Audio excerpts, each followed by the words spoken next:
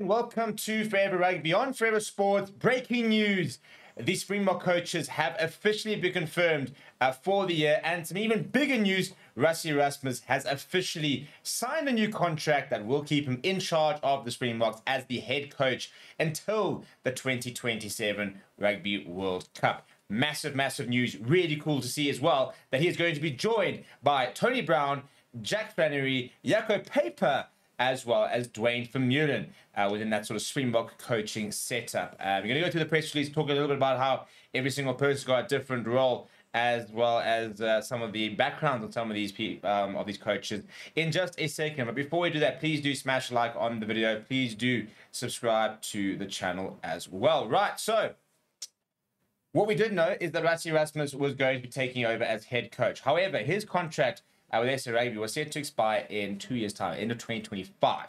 And um, it has been confirmed now that Rassie Erasmus um, has returned to the head coach role, but that he will also be staying on until 2027, which means he will be overseeing the entire next Rugby World Cup cycle, which is kind of what we hoped or assumed, but we had no confirmation of. Um, let's go into the other coaching uh, announcement, shall we? Um, obviously, we've lost now Jacques Nienaber as well as uh, Felix Jones, and we have replaced them officially with Tony Brown, who will take over as the Springbok attack coach, as well as Jay Flannery, who will take over as the new defense coach. A very, very, very interesting appointment is that the Springbok team will see a former referee in Jaco Peyper uh, join them as a national laws advisor. That is an absolute masterstroke of an appointment. Uh, a lot of teams are doing this. They're bringing referees in to kind of understand how they can interpret rules, how the laws get applied, and how they can sort of live at the edge of the law book, really, and operate within the realms and the laws of the uh, the, the, the, the of the of the book, and uh, I think that Jaco Peyper, obviously being so experienced, uh, is is a phenomenal choice. He understands the culture. He understands what it means to be a, a Springbok. Um, and to play with the Springboks and stuff like that. So I think for him to be adding to the Springbok staff is the perfect type of, uh, of, of player to add. And then finally, completing it is that uh, Duane Vermeulen has been appointed to a roving coaching role within all SA Rugby national teams. He'll become a third member of a MOBA of a MOBI coaching unit where he'll be joining forces with Franzel September and Bafana Nhleko, and they'll basically rove around and work with various national teams, such as the youth teams, Blitzboks teams, for example. Potentially, I don't know if they, that includes them, but uh, you know the women's sides and stuff like that. So really, really uh, good uh, addition to the start, uh, the coaching staff as well. So Mark Alexander said the following. He said, "We are delighted to announce uh, that Rassie Erasmus will take over the rings as the Springbok head coach once again, following his success with the team since 2018. And we believe that the continuity in the coaching structures and the exciting additions, we are in good hands with the ultimate objective of claiming a hat trick." Of World Cup titles. Uh, Tony Brown and Jay Flannery are both former international players and bring fantastic coaching experience, and their skills will complement Mzwandile Stick, Deon Davids, and Daan Human. he said it's also a huge coup to have a world class referee in Jaco Peyper as a member of the management team and to retain his expertise in South African rugby, as understanding the referees and their analysis of the laws is critical to any team's success.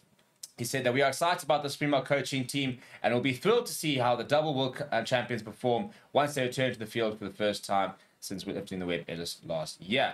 Uh, he spoke about uh, Duane Vermeulen as saying Duane has tremendous experience as a player and will take that IP into the coaching teams of our national of other national teams to give them an insight into what it takes to be a champion team.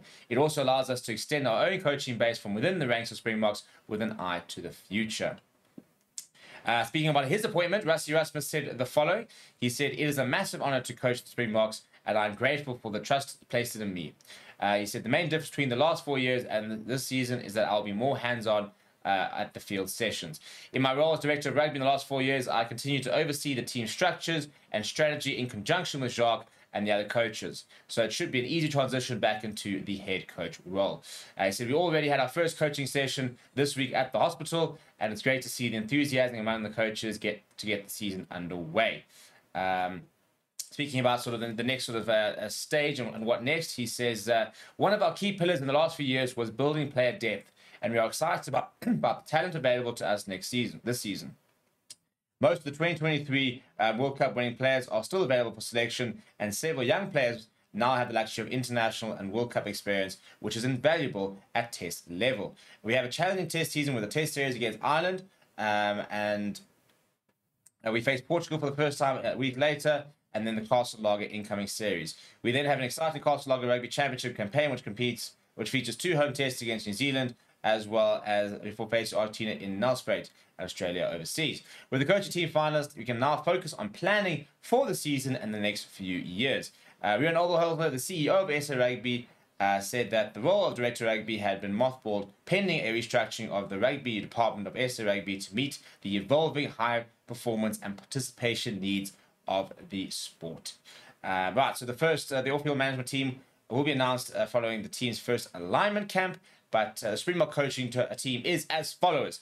Rassie Erasmus, head coach. Mzwandile Stick, assistant coach. Deon Davids, assistant coach. Daan Human, assistant coach. Tony Brown, assistant coach. Jerry Flannery, assistant coach. And Andy Edwards, head of athletic performance. There we have it. Very, very interesting. I think the Jaco Peyper role is a very interesting one. I think that Duane Vermeulen being involved within the structures is a big boost as well. What do you think? Let me know what your thoughts are down in the comments below. Please do smash a like on the video. Please do subscribe to the channel as well. Thank you very much for watching. My name is Steve. And I'll chat to you soon.